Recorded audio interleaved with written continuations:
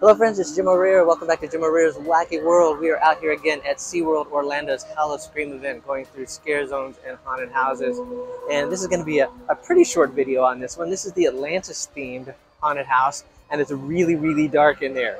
So I did get a lot of footage because it's really dark. But take a look inside the Atlantis haunted house. This is Atlantis Journey Below one of the newest haunted houses at SeaWorld Orlando's Howl-O-Scream, and in my opinion, is probably the weakest one this year. And that's because it's so dark in there, you can't really see anything. And, uh, and the scares are not very effective because of that. Um, it's just dark and doesn't build a whole lot of suspense or anything like that. It starts out well, like this, where you're in this uh, I guess it's a castle or something like that, underwater with the nice colors, and you can see sort of the ripples on the walls and things like that. But after that, it just goes dark.